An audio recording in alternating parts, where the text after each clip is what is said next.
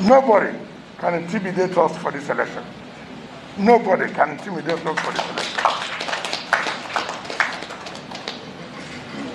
Yesterday, I was told, and today I read on pages of newspaper that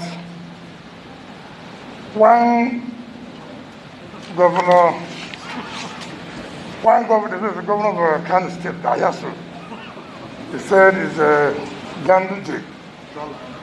He said he was going to isolate me until the election is over. That tells you if Nigeria is supposed to be a country, who is supposed to be isolated? who is supposed to be isolated?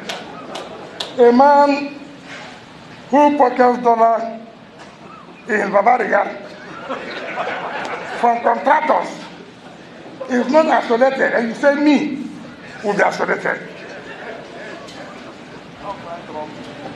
You see, that's why I say this country, where are we heading to? Look at me.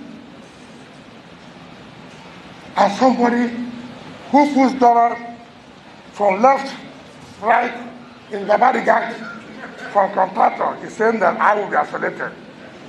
Let me, let me assure you, why they made Ganduje the chairman of the campaign council it's because of the dollar they saw. It's because of the dollar.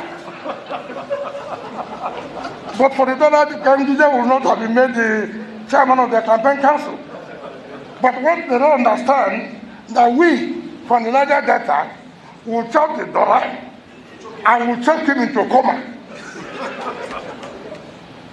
So, Ganduje, he had dollar will not work in Edo State.